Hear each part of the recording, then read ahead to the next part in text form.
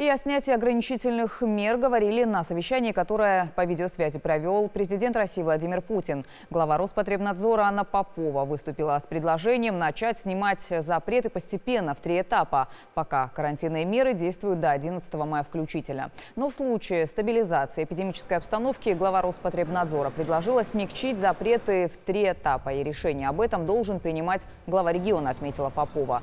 Первую очередь хотят вернуть россиянам возможность заниматься спортом на улице и гулять с детьми. Возобновят работу объекты сферы торговли и услуг с ограниченной площадью помещений. Затем планируют разрешить прогулки с членами семьи, частично открыть образовательные учреждения и более крупные торговые точки. При этом число одновременно обслуживаемых посетителей будет ограничено. На третьей стадии граждане смогут посещать парки и скверы при условии соблюдения социальной дистанции.